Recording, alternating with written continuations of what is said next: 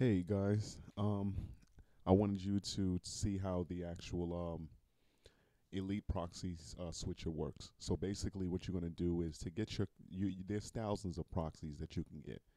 So how you're going to get those proxies are you're going to go to freeproxylist.net. I'll have that somewhere near this video, whether it's um, on the bottom or on the top or whatever. I'll have it somewhere near this video, but free proxy uh, list uh, dash list.net. And basically, what you do is you go here, and uh, if you see down here, it says uh, it says page one, page two, page three, page four. There's like a whole bunch of pages, like thousands of these. So what you're gonna do is you're gonna highlight all of these like this, and you're going to copy. Okay, and then once you, once you copy them, you're going to open up Notepad you're going to paste. Hold on. Thought I had them copied. Hold on for one second.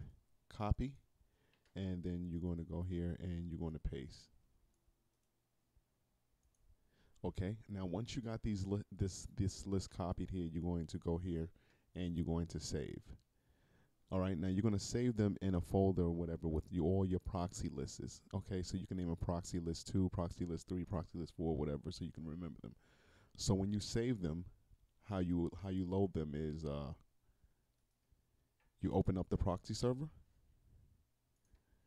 Uh, excuse me, the proxy switcher, and you're going to go to where it says uh, this this little this little uh, folder right here. You're going to click that open, and you're going to go to that folder, and you're going to click on the uh, files here, and it says, "Would you like to test the proxy list now?" You're going to click yes.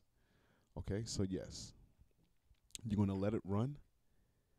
Okay, I'm gonna, I'll I'll I'll let you I'll hold on until this until this finishes um actually loading so I can show you guys what it looks like.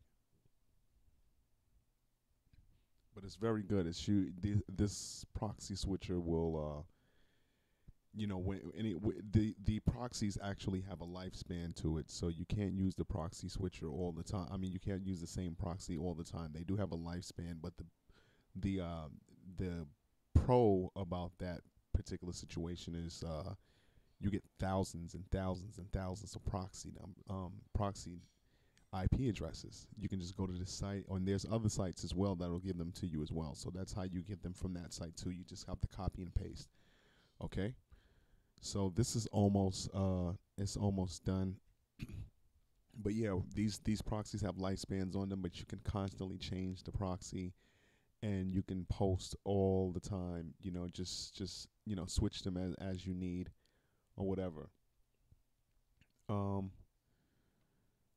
okay so i think that is finished. It says verifying all proxy in the list. So um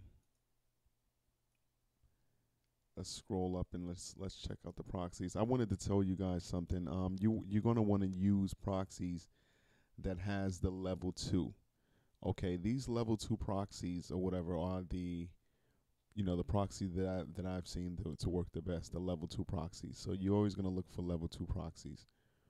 Um, I had a level two up here that I was using constantly. I'm trying to find it. Um, gee, I forget where it is. But anyway, use the level two proxies. When you click when you click onto a proxy, it'll connect just like that. And once it's connected, you see that it says, uh, you know, it'll say proxy, elite proxy switcher, and then it, it'll it'll say that your proxy, you're not using this proxy. So once you start using this proxy, you can go to Craigslist or whatever and click on Craigslist and, you know, search your search your your your go to your um your account page, whatever, and post your ads. That's it. It's very simple. All right, guys, take it easy.